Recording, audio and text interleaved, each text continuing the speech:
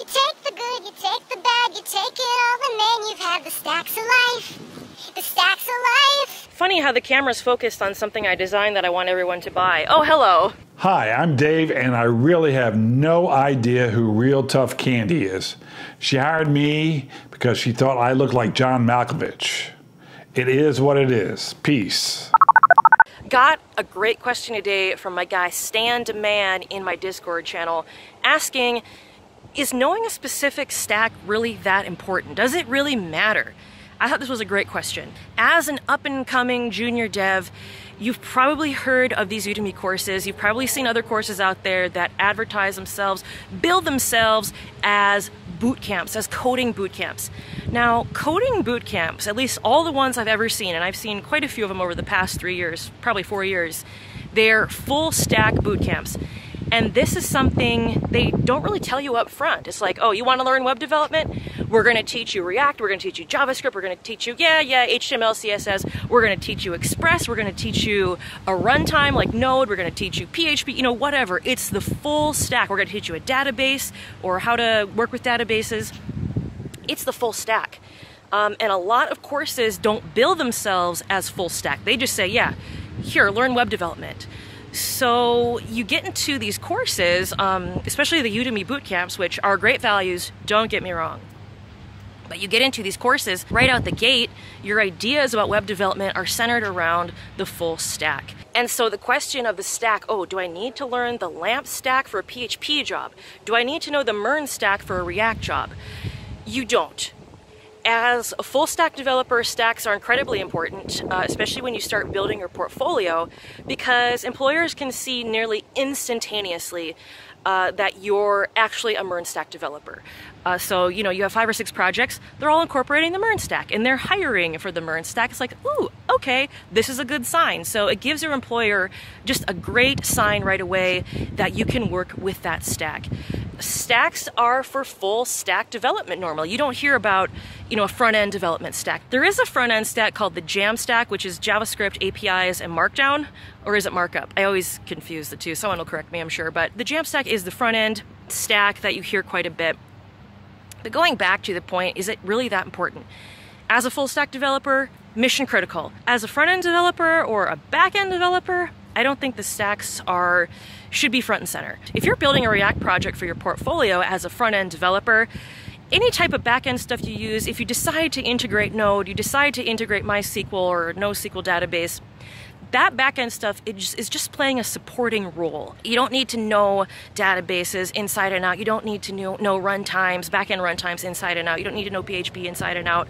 Um, but it is helpful to know a little bit because the problem is all of these employers want us to have 30 years experience even though you've only been practicing this stuff for like a year. They, they want you to do everything. And so it's kind of troublesome that way because the candidate who has the same experience as you, the same junior development experience, has five or six portfolio projects, React focused, blah, blah, blah, same for same.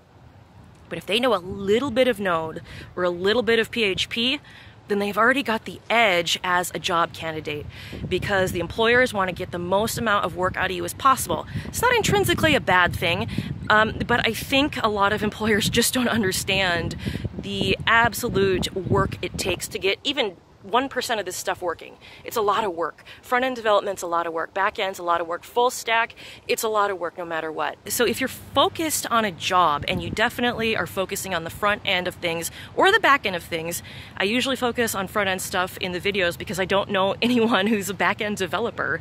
Uh, most people I know are doing front end stuff. Try as best as you can to cater to your potential employers in your area. Now, if you're open to relocation, then you have more flexibility. Even Django jobs Yeah, they're few and far between, um, but if you're a Django developer and you're, you're ready to travel, you can work for NPR or something. There's like a lot of news companies and a lot of uh, media companies, older media companies that have been around for a while who use Django. Now here is the actual really good news is that once you get into the industry and you've been around for a few years, coding and developing and architecting for a few years, the stacks, the tools, the implementations become less and less important. Now, a lot of times when you're looking at senior job openings, even on like Google's uh, job page, they want you to have experience in one or more of the following languages. It can be Python, it can be C Sharp, it can be C++, it can be JavaScript, Java. They have less of an emphasis on the actual tool, the actual language, because at that point in your career, you've really honed in on your problem solving process and you can pick up a language in a day or two. But once you get to that certain level, it's just like, okay, you can pivot very easily. As a beginner, it's not so easy to pivot because there is just so much information coming your way. I remember when I was starting to learn web development and software development, I just got so frustrated because of all the different terms and proper nouns you had to learn. Like, I'd be reading uh, an article geared towards newbies, and half of the stuff I, would have to Google and just find even more words I didn't understand. So it's just like, how am I ever going to understand this stuff if I can't even read a simple article? But it does get easier.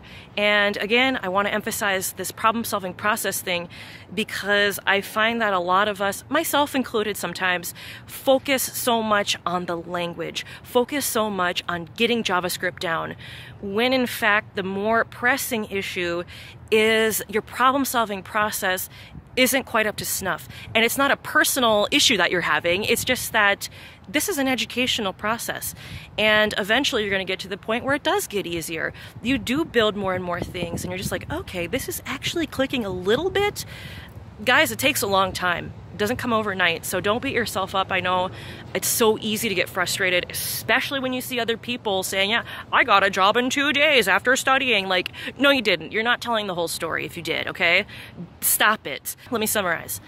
Stacks are important if you're a full stack developer because you can show your employer right away that you know the MERN stack, you know the mean stack, you know the LAMP stack with your projects. And if they're hiring for that stack, it could be a real good match and they're gonna see that right off the bat. If you're a front end developer or a back end developer, I think the stack is less important. But if you know a little bit of a LAMP stack or a little bit of the MERN stack, when you're billing yourself as a React developer or PHP developer, it's going to put you ahead of the candidates, even if it's just marginally so.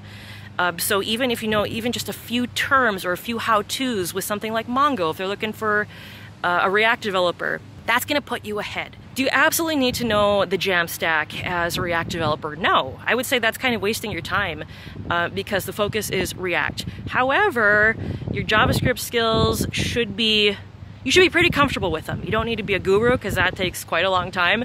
Um, you don't need to be a guru. You don't need to be an expert.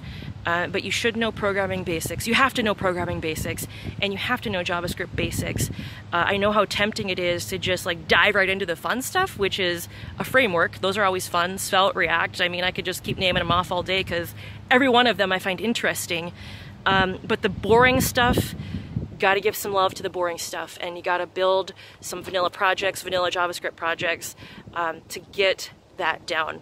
I hope this video was helpful and I want to hear your opinion on how important stacks are, whether it's LAMP, mean, MERN, what's the context, whatever, whatever the context, are they really that important as a junior? You guys know my opinion because I just talked about it in a monologue for 10 minutes. Um, I'm gonna go try and scare myself in this park, see if I can find any ghosts or woolly mammoths or something, and I will see you in the next video.